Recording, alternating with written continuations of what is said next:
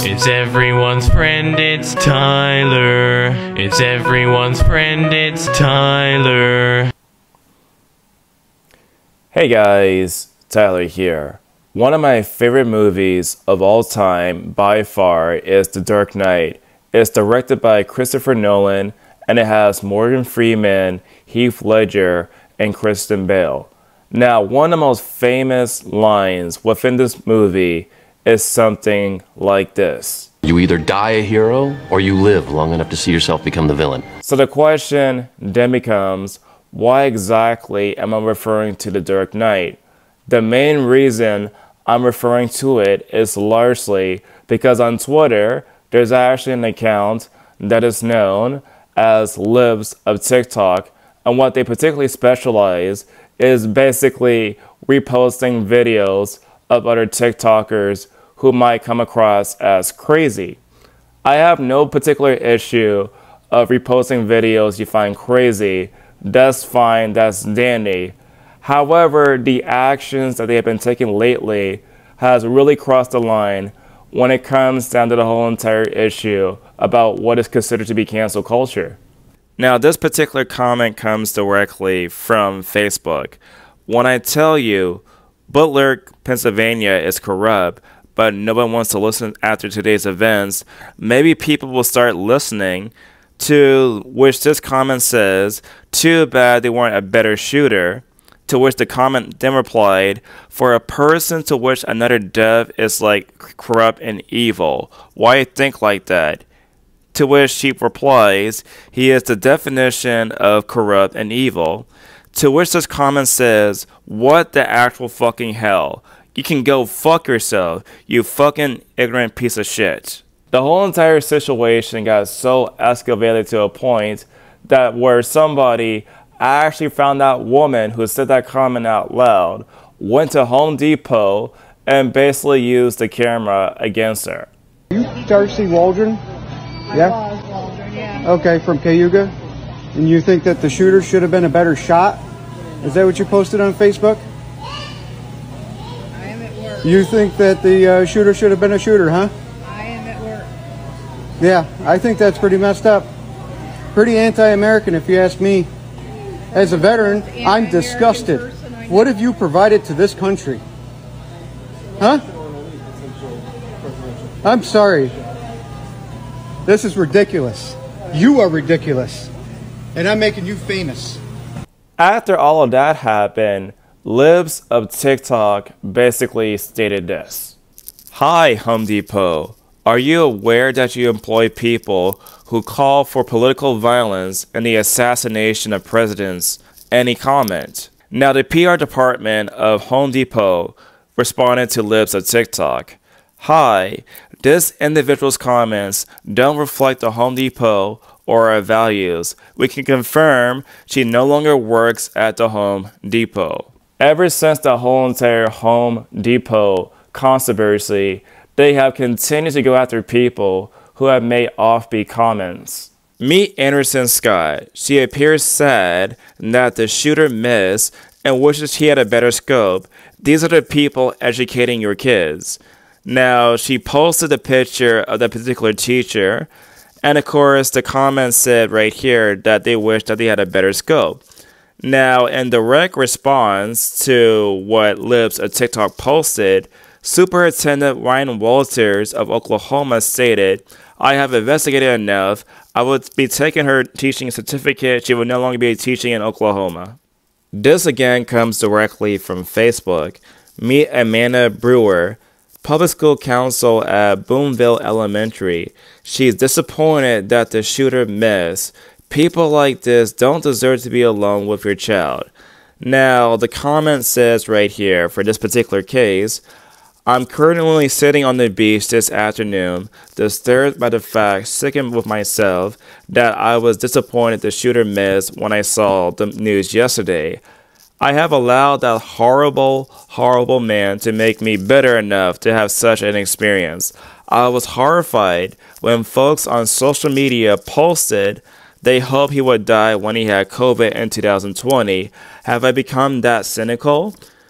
To which Libs of TikTok basically posted this Hi, is this one of your employees?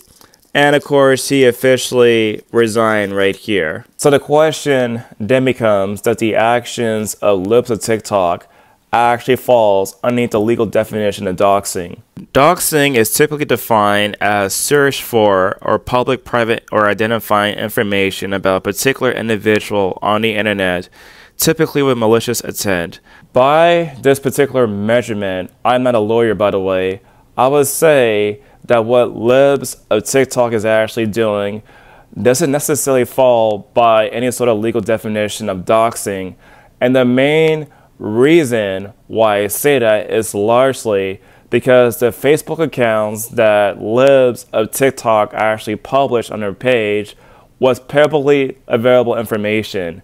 That will mean that for somebody to join Facebook or any type of social media, they have the option to actually write down their personal employer. They're also allowed to write down their real name on that particular website. And so by writing your name, by writing your employees or your phone number out in the public, I would say you're giving consent to have that kind of information actually published. Does it does not necessarily actually fit underneath the definition of doxing. Now, cancel culture is typically defined as the phenomenon or practice of publicly rejecting, boycotting, or any support for particular people or groups because of their socially or morally unacceptable views or actions. The second definition is to share attitudes and values with a particular segment of society that led to public rejection of particular people or groups. Now, this particular term is relatively new but this idea, this notion of public shunning of people is not necessarily anything new in the slightest. It's actually a form of tribalism, you can say. For example, if somebody were to say, okay, I don't believe in a God, well, you are actually a heretic, therefore, you're going to be shunned directly by society just because you are a particular heretic or in the past for the case of gay people, oh, you're gay, you must stay in the closet. Otherwise, if you go out the closet, it's not socially acceptable. You cannot necessarily work here or do whatever because we deem it so. And so, public shunning or this sort of tribalism has no political side whatsoever. So, people from the right are guilty of this kind of shunning people on the left are also pretty much guilty of this kind of shunning too. And so the shunning of people using culture and means of like losing jobs, this is not anything new. It has been happening ever since humans have been going around since the caveman days. That said, I will say that there's actually a certain level of severity when it comes on the comments for example, a person getting canceled over a joke that they made five years ago is not the exact same level as somebody wishing for the assassination of a president. They're also completely different scenarios that we're basically talking about. However, if we want to be morally consistent, we have to be against all kinds of cancellations to be against cancel culture because you cannot argue I am actually against cancel culture and then in the same breath say I'm in favor of the cancellation of that particular individual because that individual said comments I don't particularly like. Two things simply cannot be true at the exact same time.